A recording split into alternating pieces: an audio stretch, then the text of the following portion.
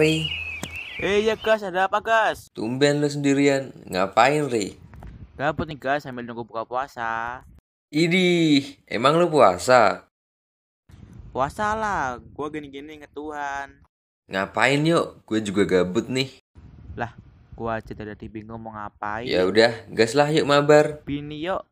Tapi gas. Tapi apa? Kan teman gue yang paling baik nih, apalagi bulan puasa.